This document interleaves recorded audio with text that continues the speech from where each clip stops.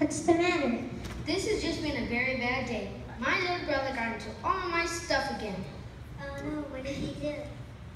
Well, first, he tore up my really long that I just finished. That's two. Then, he pulled some pages out of my library book. and Now I have to pay a fine. How could he do that?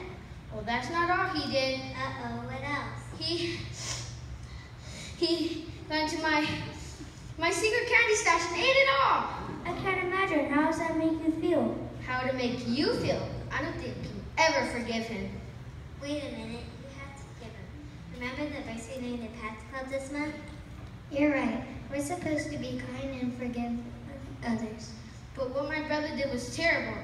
How can I possibly forgive him? Because that's how God has forgiven you.